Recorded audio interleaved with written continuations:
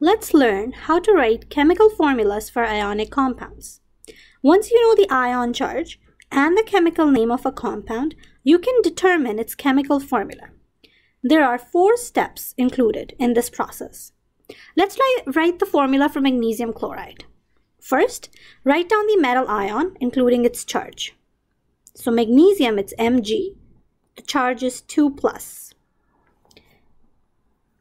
Write down the nonmetal ion with its charge. So chlorine is Cl, the charge is 1 minus.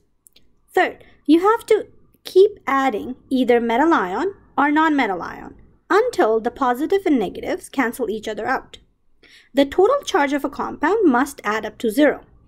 So always start with a lower charge. So chlorine has 1 minus. We're going to add one more chlorine here. Now, 1 minus and 1 minus gives us 2 minus. So 2 plus on the magnesium and chlorine, 2 minus, cancel each other out. Now, rewrite the symbols and count the number of ions present for each element and write that number as a subscript to the right of the ion symbol. So magnesium, we only have one. We write one here. And chlorine, we have two. Right? Two here. However, number one, we don't need that. It's invisible. We don't need to write that down. So we're just going to go ahead and remove that. So the ionic formula for magnesium chloride is MgCl2. Okay, let's do another example. Iron 3 oxide. Same thing. Write down the metal ion first. So we're going to write down iron Fe. The charge is given in the formula. 3 plus. Now write down the non-metal ion, oxygen. The charge is 2 minus. Now we need to cancel the charges and make sure the charges add up to 0. Start with the lower charge so oxygen has 2 minus. We're going to add one more oxygen.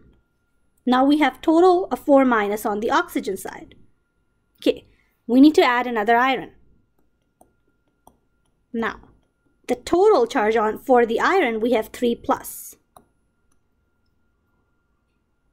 6 plus. Now, we need to make oxygen a 6 minus. So we're going to add another oxygen. the total charge on the oxygen is 6 minus 6 plus 6 minus cancel each other out. Now rewrite the elements